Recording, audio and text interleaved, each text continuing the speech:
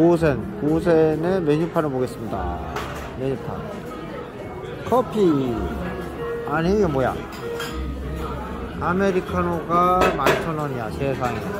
무슨 진짜 호텔, 아, 좀 많이 비싸진 것 같아. 그리고, 어, 티, 티, 티도 비싸고 다 비싸. 바, 어, 주스, 디저트. 볼 때는 이게, 아니, 내가 떡볶이를 하나 먹어보려고 봤는데 4만원이야, 세상에, 떡볶이가. 어, 김치볶음밥에 24,000원. 너무 비싸지 않나? 야, 이거 왜 이렇게 비싸냐, 진짜. 어, 피자, 파스타,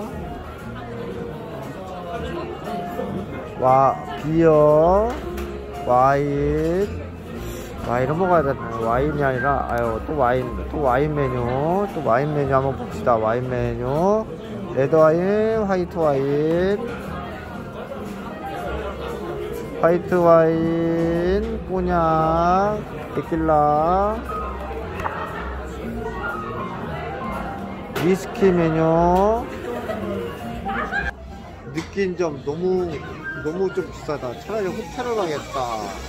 하지만 여기 장점. 어, 이, 어, 24시간은 아닌 것 같고, 아, 그래도 새벽 한 3, 4시까지 먹을 수 있습니다. 청담 고생.